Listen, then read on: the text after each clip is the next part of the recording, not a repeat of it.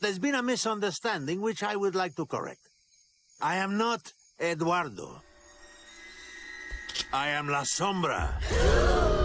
And you are now my prisoners. No! And you will remain my prisoners until this football-headed boy shows me where to find the Corazon.